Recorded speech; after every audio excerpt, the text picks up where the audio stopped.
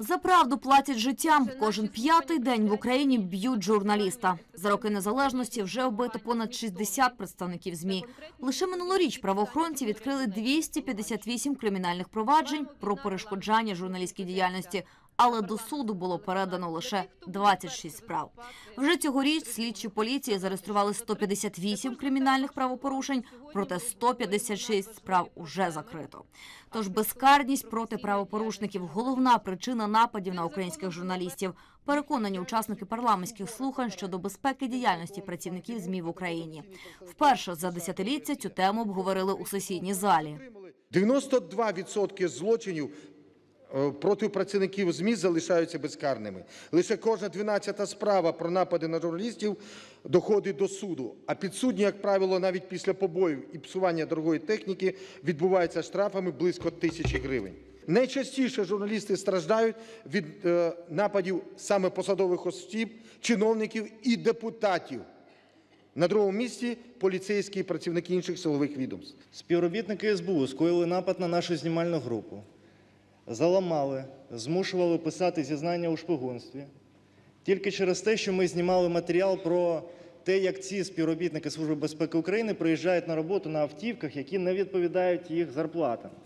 Минуло 5 років, покараних нуль. Найскладніша ситуація з порушенням прав журналістів у регіонах, зокрема на окупованих територіях Донбасу та у Криму. Там глушать сигнали українських медіа. Більше того, за останні п'ять років лише на півострові зафіксовано близько 400 випадків переслідувань представників ЗМІ. Більшості з них довелося виїхати на материкову частину України або ж залишити професію. Деяким журналістам заборонено в'їзд до Криму. Відтак Україна потребує ефективного моніторингу безпеки діяльності журналістів. Одним із дієвих механізмів відстеження ситуації є парламентський контроль, наголошує український журналіст та політичний в'язень Росії Роман Сущенко. На часі та потребують ре- ретельної уваги парламенту кейси наших журналістів Георгія Гонгадзе, Павла Шеремета, Станіслава Асєєва, Миколи Семени, Євгена Гайворонського, Нарімана Мемедімінова, Сервера Мустафаєва, Османа Аріфмеметова, Ремзі Бекірова, Рустема Шейхалієва та інших колег по цеху. Міжнародна федерація журналістів цього року через системну безкарність за атаки на журналістів навіть включила Україну до наступного переліку небезпечних країн: Філіппіни, Перу, Палестина і Сомалі до списку країн, де не захищають журналістів. Учасники парламентських слухань наголошують, злочини проти журналістів як четвертої влади мають розслідуватись окремо спеціальним прокурорським підрозділом при генпрокуратурі та слідчою групою при МВС. У міністерстві внутрішніх справ щоквартально звітуватимуть про розслідування нападів на журналістів. Міністерство внутрішніх справ е, приділяє відповідальну особу за контакти з журналістським середовищем і відповідальну за організацію безпеки з урахуванням всіх структур Міністерства внутрішніх справ.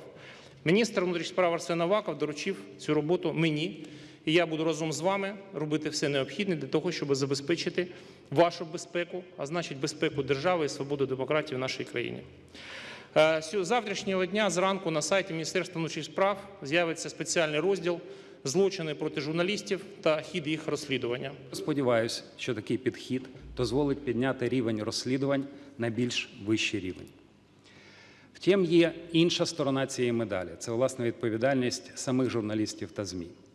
На жаль, останнім часом такі поняття, як фейкові новини, свідома дезінформація, елементарне порушення журналістських стандартів, потурання агресії ворога проти нашої країни стали звичним фактором. В парламенті створена тимчасова слідча комісія, яка зараз займається питанням встановлення власників деяких каналів. Думаю, в ній ми також розглянемо питання відповідальності деяких осіб та їхніх друзів у потуранні російській агресії. Також вже до нового року комітеті з питань гуманітарної та інформаційної політики обіцяють розробити новий законопроект про медіа, яким, зокрема, скоротять кількість інформаційних каналів, які є збитковими. Адже парламентарі переконані, власники таких змі впливають на інформаційну політику та змушують журналістів замовчувати факти або ж маніпулювати суспільною думкою. Відтак у медіакодексі пропишуть права і обов'язки усіх учасників ринку. Відповідальність журналіста за розповсюдження неправдивої або та маніпулятивної інформації також має бути посилено. І введення як адміністративної, так і кримінальної відповідальності за таке маніпулювання, за замовлення такого маніпулювання, за здійснення такого маніпулювання. Задля інформаційної безпеки України сьогодні створено і Раду з питань свободи слова та захисту журналістів. Президент України Володимир Зеленський підписав відповідний указ.